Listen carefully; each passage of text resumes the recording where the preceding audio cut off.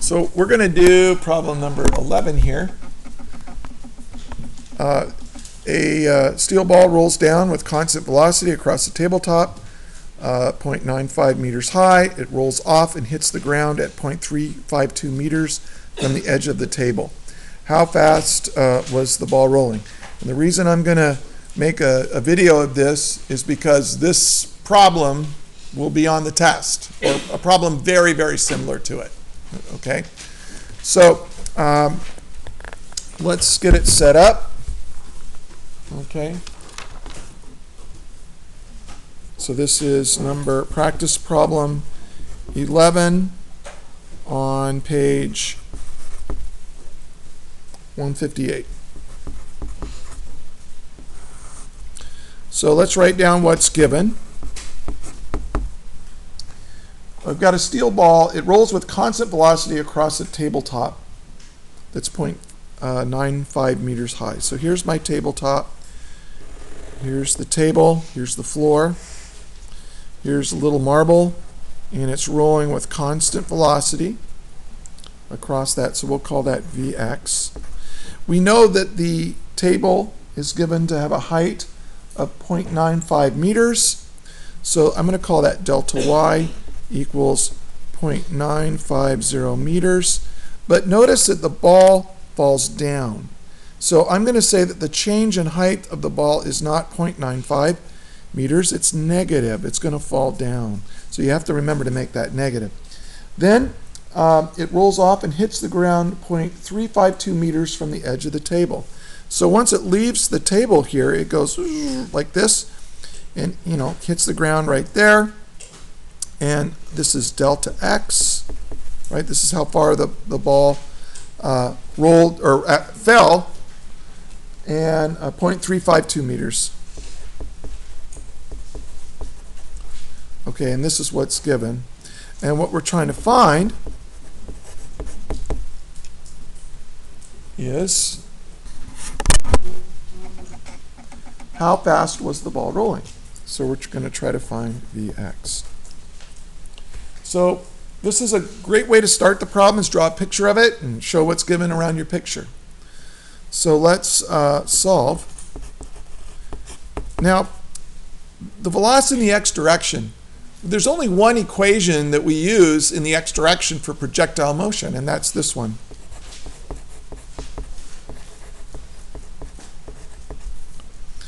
And this is really what we're trying to find because the velocity in the x direction is a constant. So we know uh, what delta x is, but we don't know what time is. So we need to find the time in order to solve for v naught x. So I look in the y direction, and I notice, what do I know? I know delta y. I know what the acceleration in the y direction is, right? It's negative 9.8 meters per second squared. So I know the acceleration. I'm trying to find time. I'm going to use the third kinematic equation. Delta y equals v naught y times t plus 1 half a t squared. Now I know what the initial velocity in the y direction is. The ball is moving horizontally. It has no initial velocity in the y direction. By the way, if the bell rings and you want to go, go ahead and leave. I'm going to finish doing this problem. Just try to be quiet. So now I can solve for time. Multiply both sides by 2. So I get 2 delta y is equal to a t squared. Whoops. Then uh, divide by a. And when I do, I get 2 delta y over a is equal to t squared. And then I just take the square root of both sides, and I get t is equal to the square root of 2 delta y over a. Well, I know what all this stuff is, so t is equal to the square root of 2 times negative 0.950 meters. This is how far the ball fell down. And this is the rate at which it accelerated, negative 9.8 meters per second squared. And you get a value for t. And then you can substitute that in there. So what, is this? Anybody have a calculator? My calculator's not out. Anybody do this problem already? Can you give me a time real quick?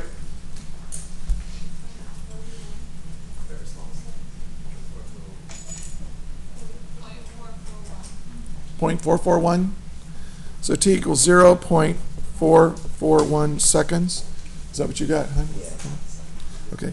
Um, so I can now I now know the time that it took the ball to fall from here down to here. So I can now substitute in here. And so I'm going to say V naught x is equal to delta x divided by t. Really delta x over delta t, right? And uh, this is 0.352 meters over 0.441 seconds. And this will give me an answer uh, which should be 0.8 0 meters per second. Okay, I think that's uh, correct. Okay, and that's your answer. So, what's the big picture here for a problem like this? Draw a picture of it, show what's given around your picture, and then